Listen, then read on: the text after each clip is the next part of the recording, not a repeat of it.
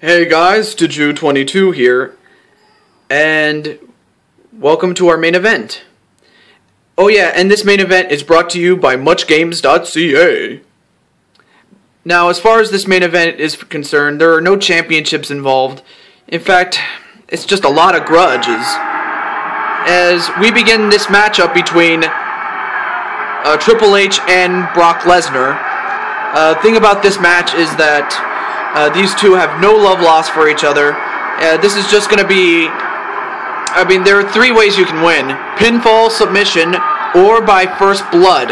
There are no disqualifications, no countouts, but falls do not count anywhere. In fact, the only falls that do count anywhere are first blood, but everything else, pinfall or submission, count in the ring. And a DDT on a Brock Lesnar. So yeah, we saw Triple H's wife, Stephanie, in the ring. Now we get to see Triple H himself. And of course, we know the problems that these two have had in real life. I mean, come on. They have no love lost. I, like I said, they have no love lost for each other. Uh, it all started uh, in the summer of last year. And you know, Brock, I mean, it, it, started out as a money issue, but then it just became very personal. As these two men are going to beat the crap out of each other before this night is through.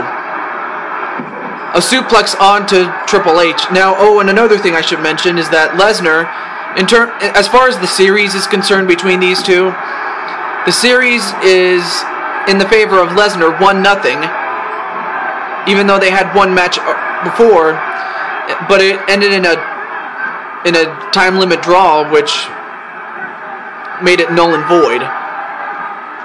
So for for so for Lesnar, if he wins, the feud is over, and Lesnar proves himself to be the dominant athlete or the supreme athlete. But if Triple H wins, then the feud continues. Then a clothesline right to Triple H again. Or actually, that's his first one, sorry.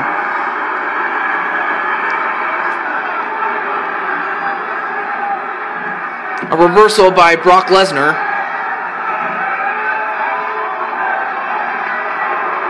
An arm breaker using the shoulder.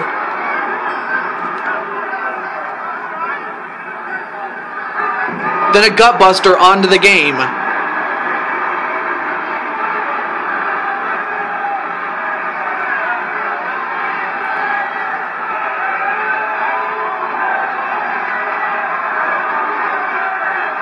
And another shoulder arm breaker again.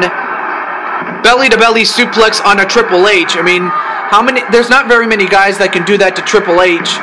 I mean, Triple H is he's pretty damn big. I mean, he's a pretty big guy, you know. Uh, but thing is, Brock Lesnar is even bigger, so that tells you how big he is.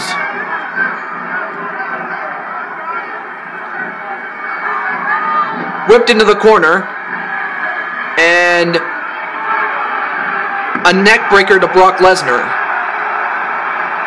So yeah, I mean this match is worthy of main event status. I mean, just because of the hatred that these two have. In fact, it even parlays in the in in this alternate universe that we call real life, you know.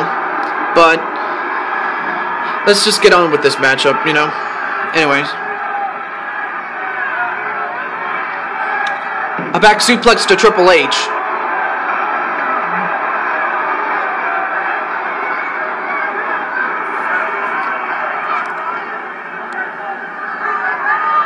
Elbow right to the head. Then a knee right to the head of Brock Lesnar. Now he picks up Brock Lesnar and delivers a couple of big blows to him including one that sent him over the top rope and onto the floor. Now remember, there are no countouts, so these guys can be outside as much as they like. And Triple H just takes down the announce table. But a counter by Brock Lesnar with that belly to belly suplex. Then another, then a clothesline right to Triple H to follow it up.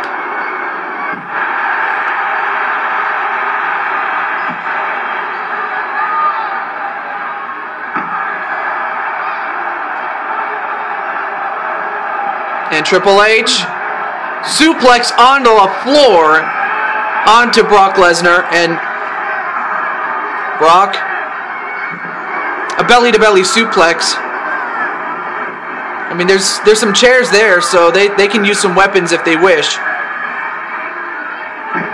Whipped into the post. And Triple H, I'm not sure what he was doing, but now Triple H, what's he doing here? Triple H, what's he doing? Oh no, he's gonna set up the table.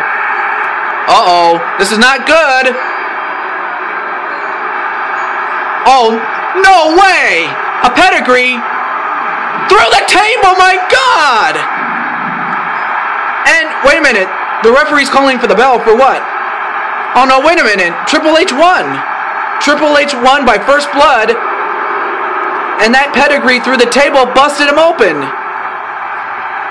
So Triple H, as a result of that, ties the series and the series between them, as well as, or should I say the feud between them, sorry, continues. But my God, that was an epic pedigree right through the announce table, and Brock Lesnar trying to get up, but he, not even uh, the Beast incarnate couldn't get up from that. I mean, seriously, how the hell do you get up from a pedigree, let alone get busted open in the process? You don't. But that was an epic match for what it was. But folks, stay tuned. Um, we'll have one more show, which is the interdimensional show, which is what I'm hosting. I'll host that, and then after that, we'll get ready for our first Super Show, albeit back in 1998. So, uh, other than that, uh, stay tuned for the next show as well as the Super Show next time on Let's Play WWE 13. This is your host, TehJew22, signing off. Have a great day, everybody.